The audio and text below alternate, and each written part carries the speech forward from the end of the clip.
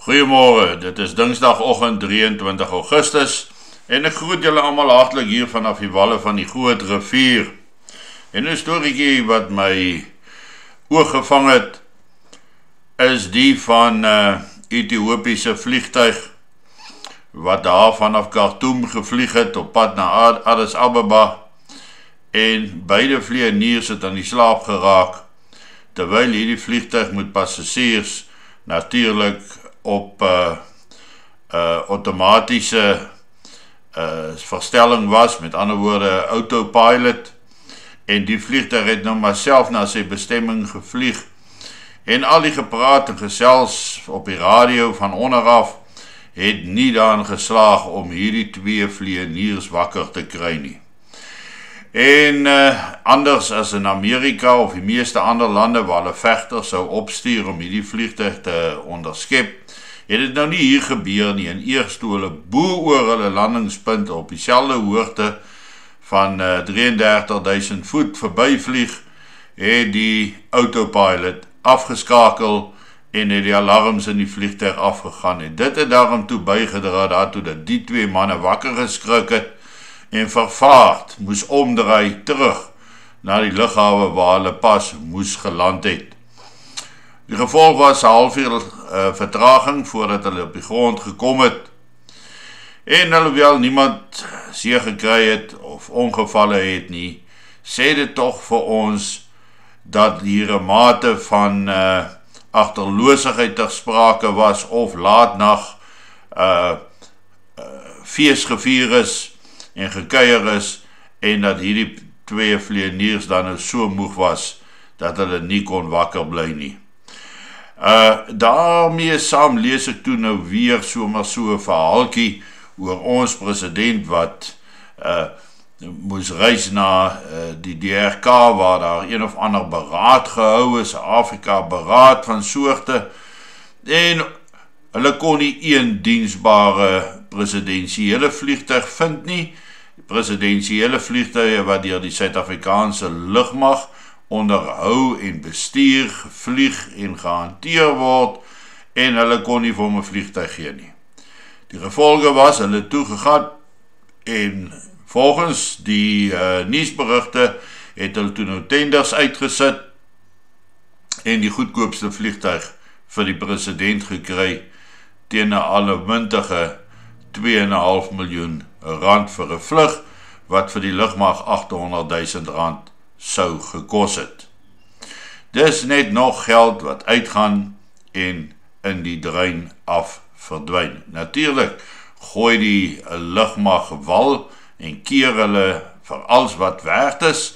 Uh want dit reflekteer daarom nou nie netjies as hulle moet sê dat hulle ten duurste vliegtuig moes gaan aan of in hier het omdat hulle nie 'n beskikbare vliegtuig gehad het nie. Dit beteken dat daar nou nog minder geld beskikbaar is vir noodsaaklike dienste.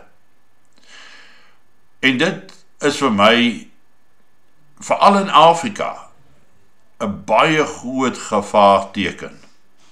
Want Afrika leiers uh se vliegtuie is altyd in die beste van toestand en dit word gewoonlik in oorseese lande uh geonderhou en gediens ten duurste om te sorg dat hulle president daarom veilig is. Dit uh is asof hier by ons so 'n uh, bietjie van 'n hoogmoedigheid uh, bestaan en 'n onwilligheid om te erken dat die dienste nie meer is soos wat dit moet wees nie en daarom is die maklikste uitweg hier net eenvoudig 'n vliegtyg in.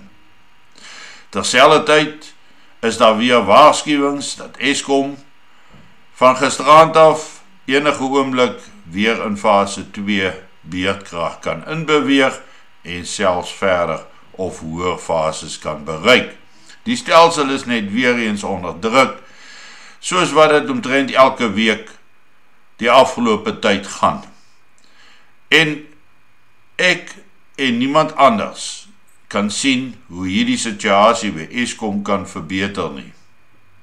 Oral is daar druk van die presidensiële straler af deur die krag verskaffer En dan sien ons dat die staking van die 24ste uh Augustus, dis Woensdag onverpoos voortgaan en dat Kusatu se beplande skedules waar hulle gaan betoog, wat hulle gaan doen is reeds gepubliseer en al die nodige toestemmings is daarvoor verkry.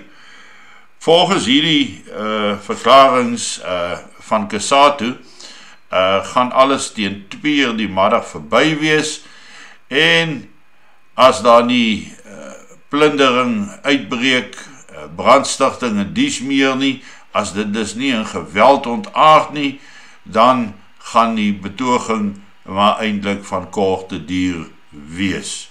Tog dui dit vir ons op 'n toenemende onderliggende woede in Suid-Afrika rondom brandstof, rondom uh verhoogde lewenskoste en dis net 'n treurmare storie.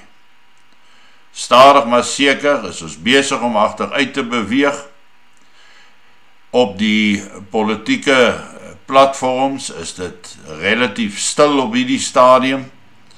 Ek dink daar's baie uh van hierdie politieke groeperinge in die land wat ook maar die 24ste dop om te sien wat gaan gebeur.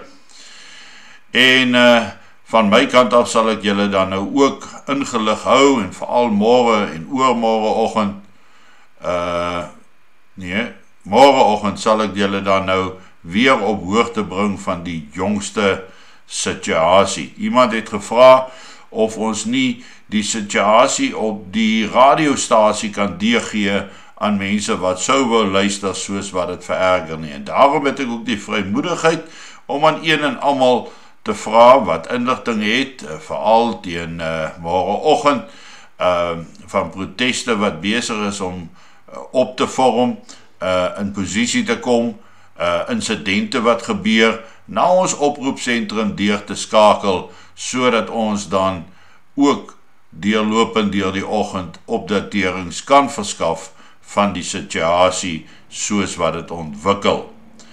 Persoonlik weer eens sê ek ek verwag nie ek het nie die gevoel dat dit die grootte is uh wat gaan gebeur uh op die 24ste Augustus nie.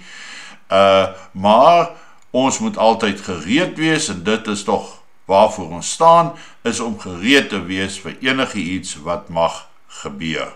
Sou julle karre vol brandstof, sorg dat julle addisionele kos in julle huise het, sorg dat julle gereed is om te kan onttrek sou 'n situasie dan hand uitruk in Suid-Afrika.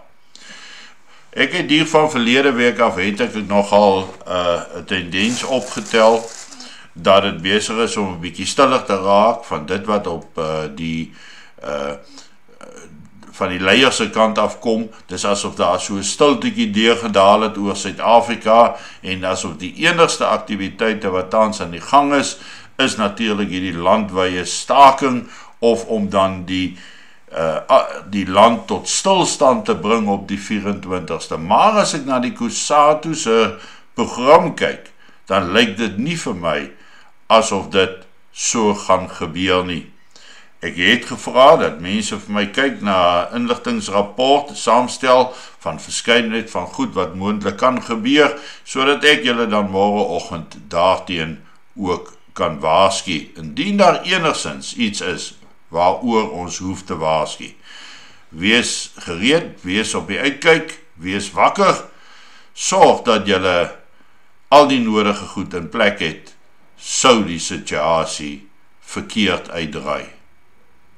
Intussen geniet jou kondensmelk koffie en sorg dat jy van 'n 'n vliegtuig in die middel van Afrika afbly want net nou kom jy ook nie by jou bestemming uit nie as gevolg van heeltemal ander reke redes as slapende vlieëniers. Uh wees veilig en ek gesels dan môreoggend weer met julle. Dankie.